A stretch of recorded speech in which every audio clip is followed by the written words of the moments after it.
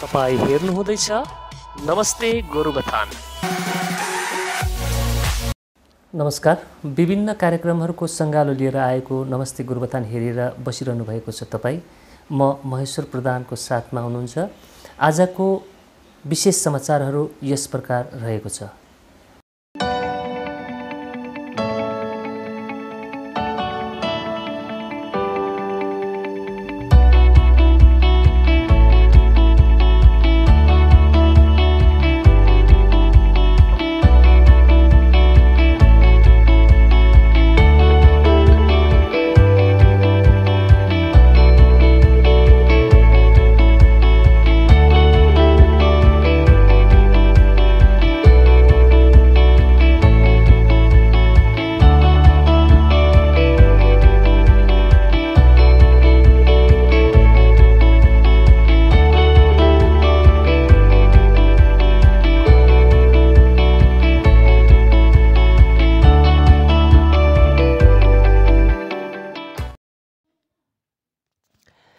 प्रस्तावित छ्यालिस नम्बर समष्टिमा सुचारू रूपले कार्य गर्न हेतु गोरुबथान हिल तृणमूलका पदाधिकारीहरूको विशेष उपस्थितिमा प्रस्तावित छ्यालिस नम्बर समष्टि कमिटी गठन गरियो।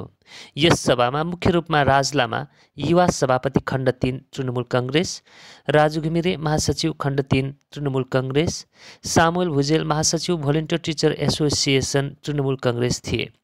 यस सभाले पारित गरेको कमिटीमा सभापति सचिन भुजेल उपसभापति राम भुजेल सचिव प्रीतम लामा सहसचिव धीराज प्रधान मुख्य सल्लाहकारमा कमल छेत्री र विकास भुजेललाई चयनित गरियो।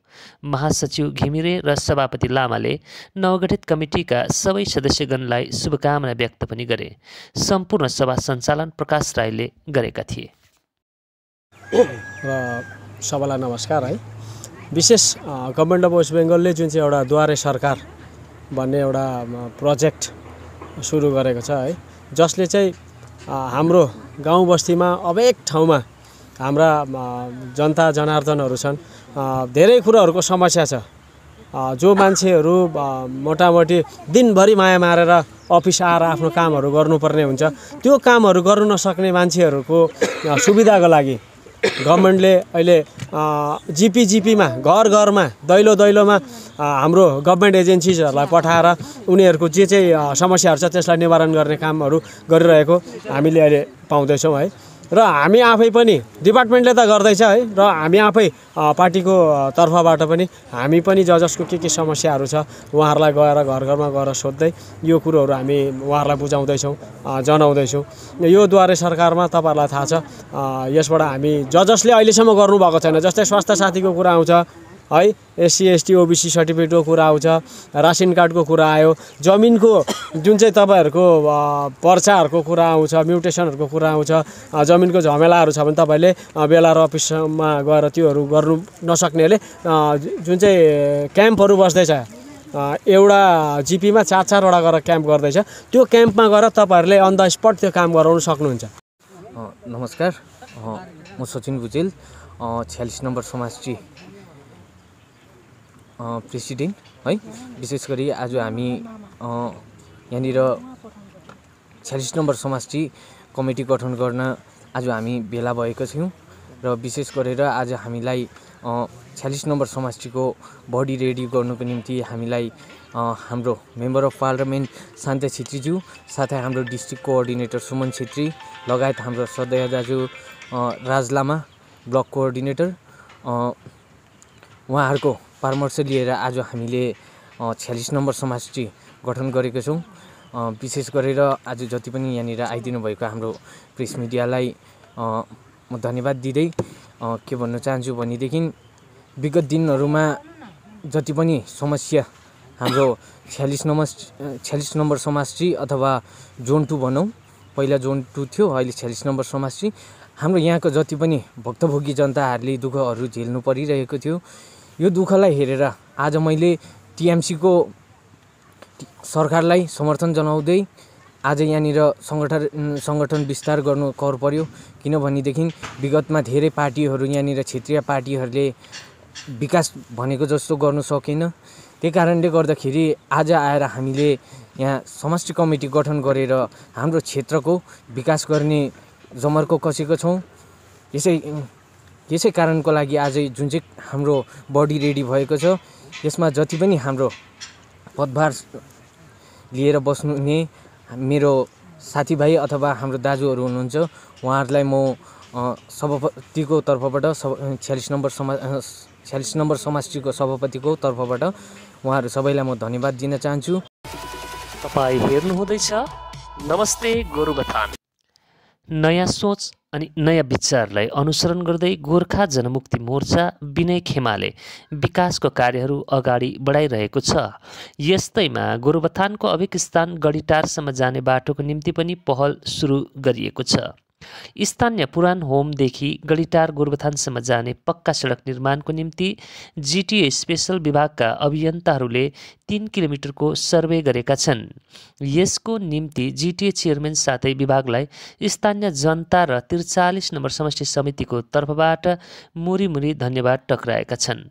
यस काममा त्रिचालिस नम्बर समष्टि सभापति अजय प्रधान ओम प्रकाश कार्की आफ्ना सहयोगीहरूसित उपस्थिति दिएका थिए। सभापति प्रधानले आफ्नो सम्बोधनमा आफूहरू काम गर्ने विकास गर्ने पक्षको हुँदा हल्ला नगरी रहने पनि बताए।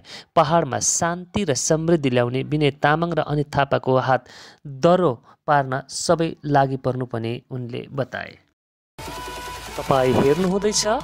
नमस्ते गोरुबथान लगातार रूपमा सामाजिक कार्य गर्दै आइरहेको गैर सरकारी संस्था कवीर सेवा समितिले जलपाइगुडी जिल्ला अन्तर्गत मेङ्गिला चियाबारी भुट्टाबारी डिभिजन अनि कालेबुङ जिल्ला अन्तर्गत लोवर फागु चियाबारीमा जम्मा दुई सौ दस विभिन्न परिवारलाई लगाउने लुगाफाटा ब्ल्याङ्केट प्रदान गरी उक्त प्रदान गर्ने क्रममा संस्थाका सभापति मेघनाथ राई सचिव सूर्यमणि राई प्रमुख सल्लाहकार निशान्दास राई समीर राई शान्ति आशिष राई भगीरथ राई कोषाध्यक्ष भुवन प्रसाद राई उपस्थित थिए भने ग्रासरुट फाउन्डेसनका कोषाध्यक्ष राजीव प्रधान शिक्षक आनन्द कुमार छेत्री भुट्टाबारी डिभिजन पञ्चायत सदस्य समीर मुन्डा स्वनिर्भर सदस्य रोशनी छेत्री कवारी मुन्डा युवा प्रगति सङ्घ मिसिनेलका सदस्य राहुल छेत्री रितेश छेत्री विष्णु सुनवार लोवर फागुका महेश थापा राहुल विश्वले सहयोग पुर्याएका थिए भने उक्त वितरण कार्यक्रमको यो रिपोर्ट नमस्ते गोरुबथान च्यानल मार्फत हजुरहरूलाई प्रसारण गरिरहेको छौँ।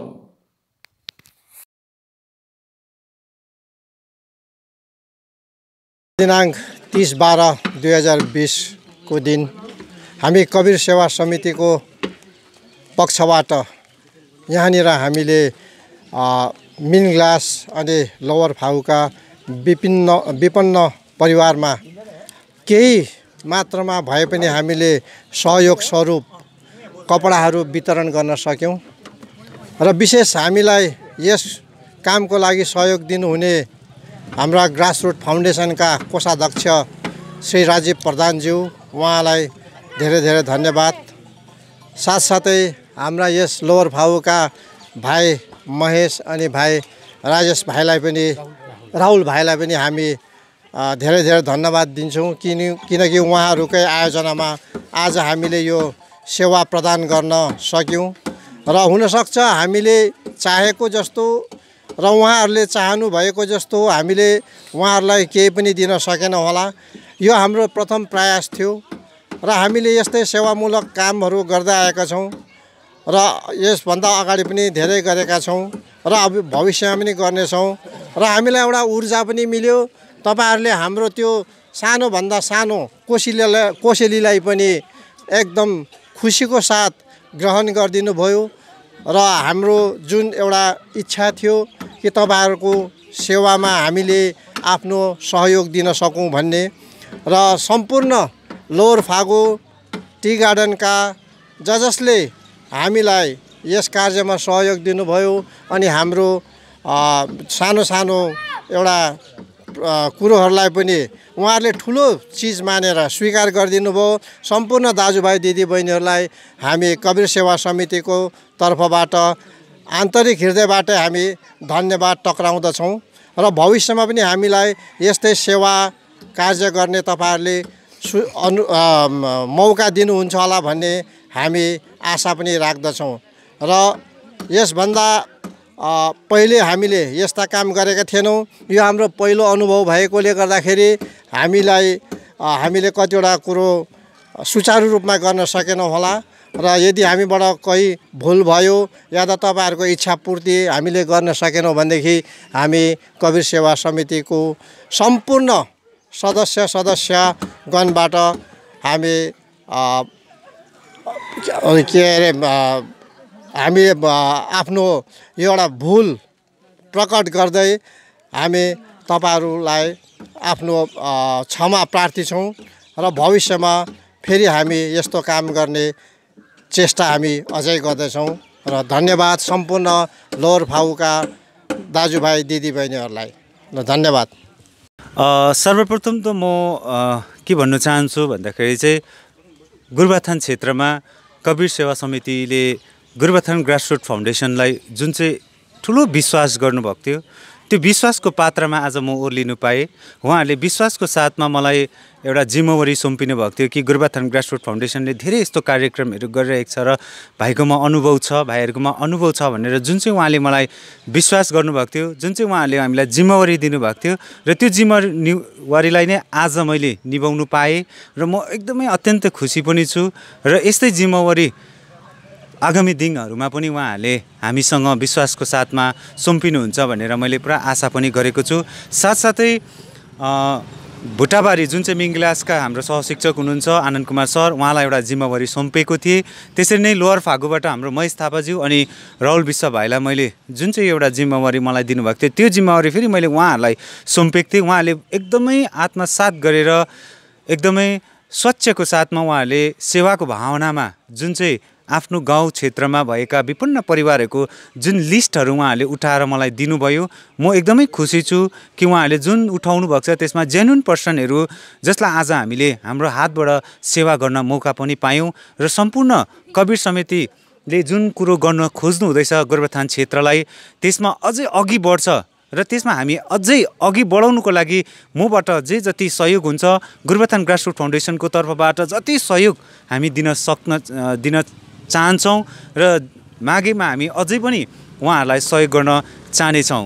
र फेरि पनि म सम्पूर्ण जतिजनाले खुसीको साथमा एउटा उपहारको साथमा यो हामीलाई एउटा उपहार भनेर जो जति पनि व्यक्तिहरूले यहाँनिर आज हाम्रो सम्मानलाई थापे ग्रहण गरे उहाँहरूलाई पनि सबै सबैलाई धेरै धेरै धन्यवाद दिँदै म सम्पूर्ण जसले मलाई सहयोग गर्नुभएको थियो यो जिम्मेवारी निभाउनुमा उहाँहरूलाई पनि अझै मुरी मुरी धन्यवाद दिँदै कवीर सभा समितिलाई अघि बढाउनुको लागि म फेरि पनि अघि सधैँ उहाँहरूको साथमा हुनेछु भन्दै मेरो यो दुईवटा दुई शब्द सन्देश यहीँ अन्त गर्छु धन्यवाद।